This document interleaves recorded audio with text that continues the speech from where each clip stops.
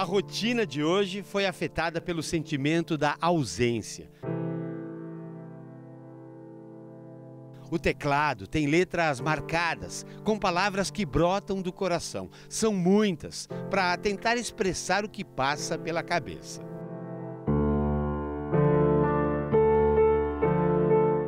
Viajam por uma trajetória de lutas vencidas em 84 anos de vida. É uma longa viagem que pode ter um enredo conduzido por vários caminhos, mas sem dúvida tem um eixo condutor marcado pela retidão e pela coragem.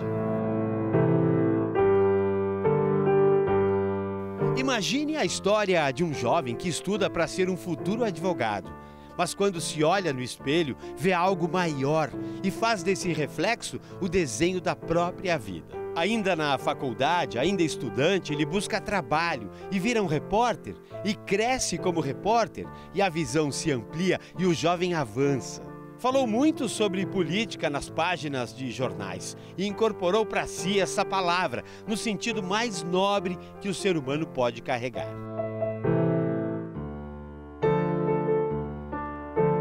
A política da vida correta, a política da vitória pelo suor.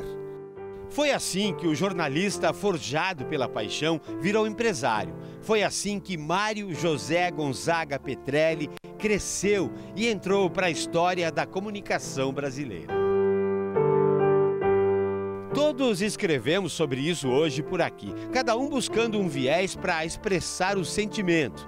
Mas uma lembrança em comum pairava no ar, de dias atrás, quando o próprio Mário Petrelli veio feliz para inaugurar a redação integrada do Grupo ND, que leva o nome dele. Foi o último encontro com a maioria da equipe. Estamos sim vivendo um luto, carregamos tristeza nesse dia, mas seguimos cultivando valores, dentro do propósito com que nosso chefe maior sempre conduziu a vida.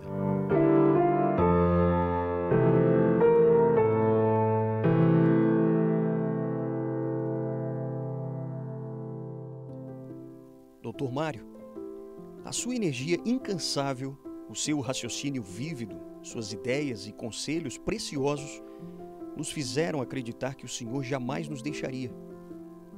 Nós, seus mais de mil colaboradores, ficamos tão acostumados com a sua presença em nossos corredores, estúdios e redações, que agora está difícil assimilar a sua ausência assim, tão de repente, em nossas vidas. Como descrever uma pessoa com seu tamanho, sua força e sua grandeza? Por onde começar? Do que, que a gente pode lembrar primeiro? Bom, da sua inteligência visionária, ou do jeito carinhoso que tratava todos nós, da sua memória extraordinária? Ou do seu abraço caloroso, do empreendedor arrojado, inovador, corajoso e incansável, ou do ser humano único, solidário e generoso. O seu olhar juvenil nos inspirava, seu sorriso encantador nos acolhia, sua palavra afetuosa nos tranquilizava. Por tudo isso, um homem assim jamais desaparece.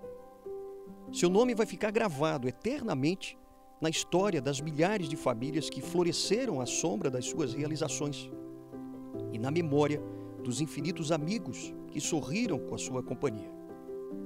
Doutor Mário, de onde estiver, receba o nosso carinho, nossos aplausos e nossas orações. E o nosso muito obrigado de coração. Uma mensagem dos seus colaboradores dos grupos ND e RIC.